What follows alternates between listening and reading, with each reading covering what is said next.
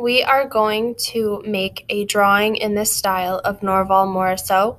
We're going to draw a turtle, and as I draw the turtle and you follow along with me, I'm going to tell you the story of Turtle Island. I'm using a black marker to make the thick outlines that we see in Norval Morrisseau's paintings, and I'm going to use my crayons to add the color because I have a wide variety of colors of my crayons to match the variety of colors that we see in Norval Morrisseau's paintings. If you have these materials at home, please do your best to follow along with me as I use these crayons and my marker.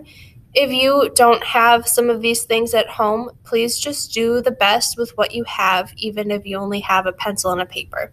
I'm going to fill up the whole piece of paper, so my turtle is going to take up all of the space and he's kind of kind of look like he's squished on the paper and um, that is also very similar to Norval Morrisseau's paintings. He filled up the whole space. I'm starting with an oval for the shell, and this is going to take up most of my paper. I'm going to leave some space to add the head, the tail, and all of the legs. So kind of in the middle, I'm going to add a little leg here. And then a little, maybe a little one over here too.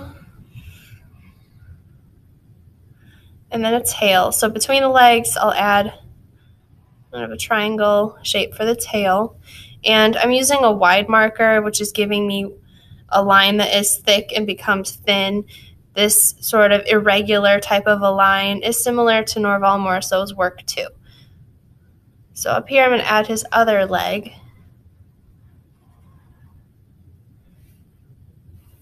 add the other one here, kind of reaching up, trying to make them about the same size. And then I'm going to have the head be kind of turned, like maybe he's turning his head to look at the viewer. There we go. And I'm going to add an eye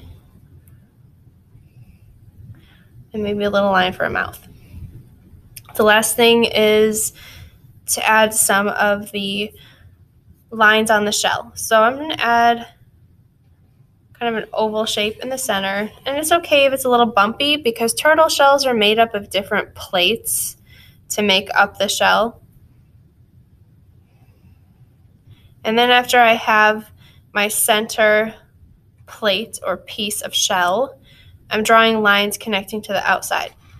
And then I'll be done with my drawing and I can begin coloring and I will tell you the story of Turtle Island as we work on coloring this in.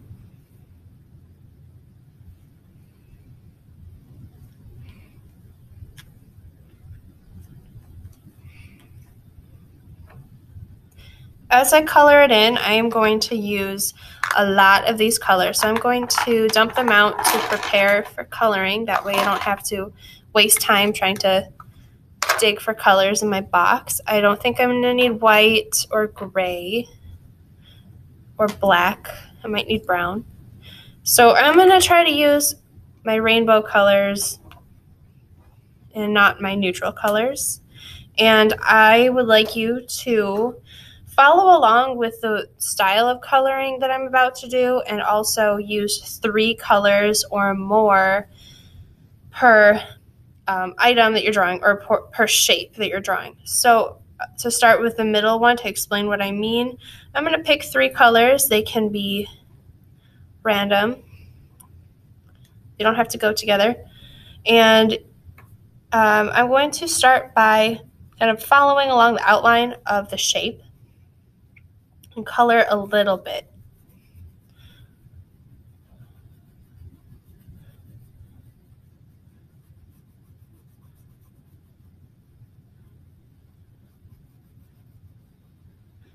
When I say color a little bit, I mean don't fill in the whole shape with your first color. Fill in part of the shape. Leave space for your other two colors. So moving on to the purple, which I'm going to fill in next coloring around the outside of the shape.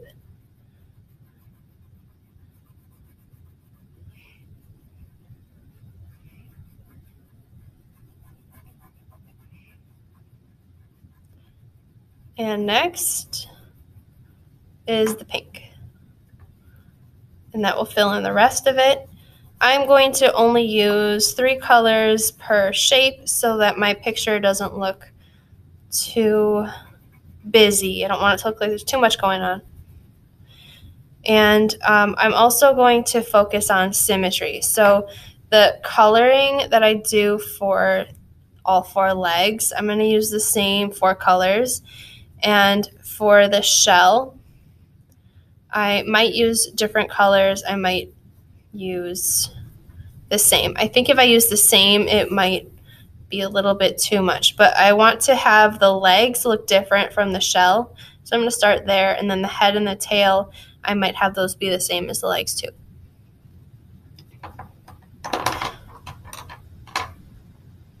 You can choose any colors you want to. You don't have to copy the ones I am picking out. But as I look at look through these colors, I'm trying to find colors that are not all next to each other on the color wheel. So colors that would be different um, from each other, kind of looking at differences in colors. They're not all the same.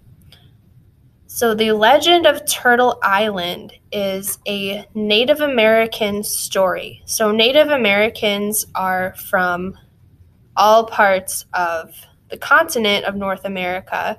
It means that they are native to this land. Their ancestors were the people who lived here before the colonists arrived and they have their own traditions and creation stories and stories about their beliefs of how the world and spirituality and the universe work.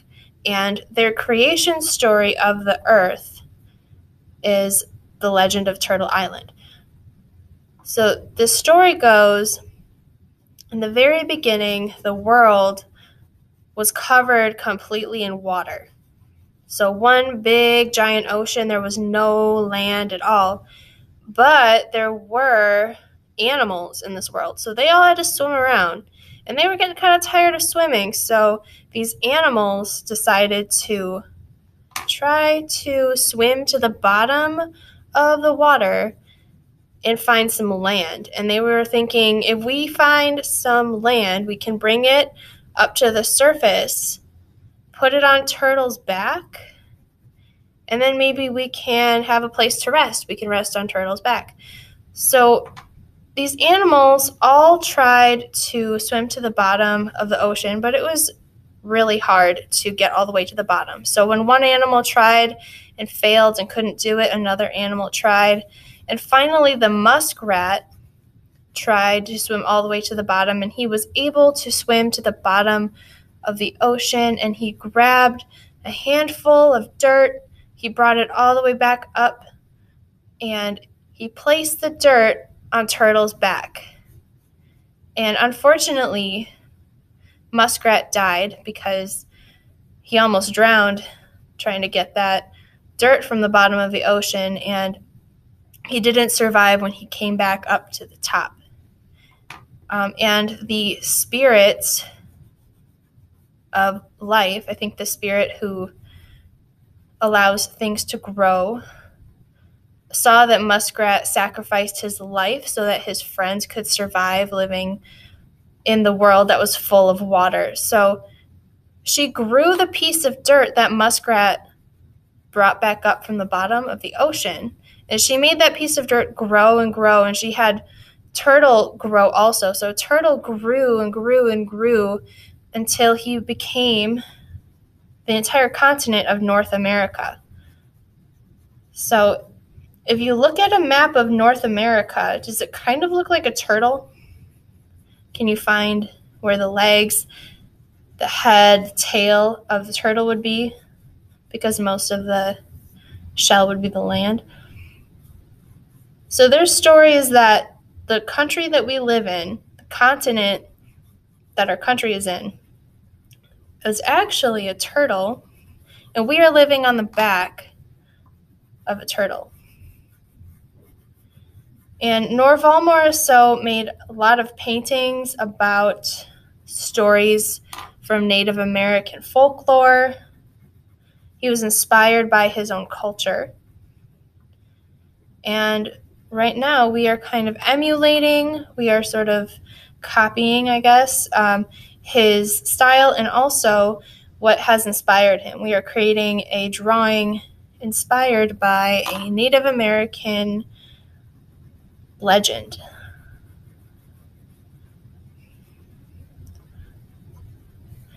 And as I was telling you that story, I was working on coloring in all of the legs with the same three colors in the same pattern.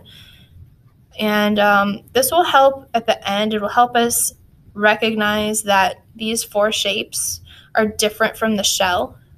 Because once this is all colored in, your eye is going to have to take a little bit of extra time to kind of figure out what you're looking at with all of the bright colors.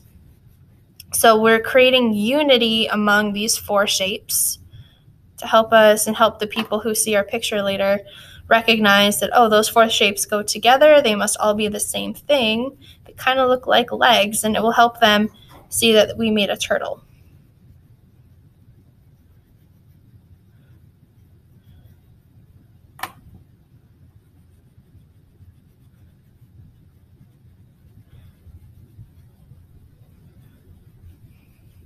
And I'm going to continue with these three colors for the tail and the head.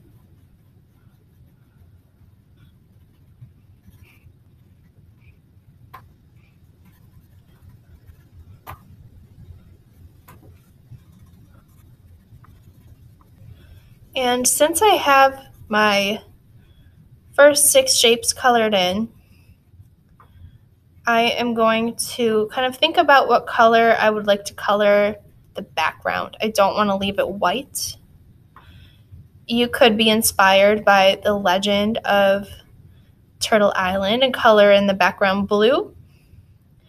If I chose to do that, I would need to choose a darker blue than the one I'm using so that all of my picture can still be seen. It would be really challenging to tell where the arms and legs are if the whole background was the same color blue. So make a choice that would be different from the color that is closest to the white of the paper. Okay, so I wouldn't use blue. I probably would use something like maybe yellow or orange.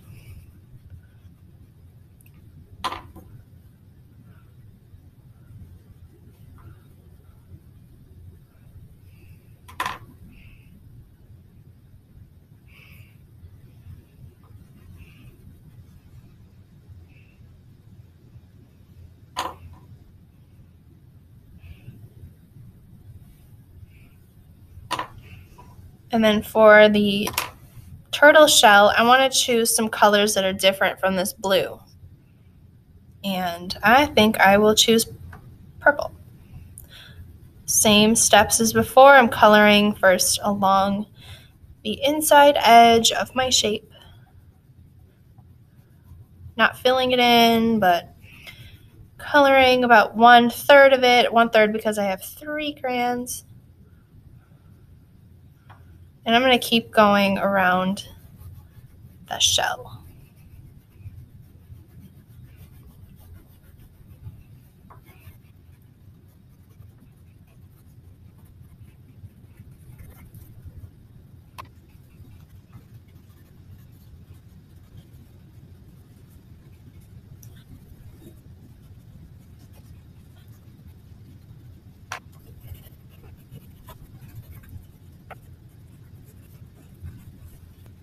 My very last step here is coloring the background. So since I have it half colored in, I want to point out that by adding this orange, it really brings out the blue and it brings out the purple in my turtle. It makes it really pop out a lot more.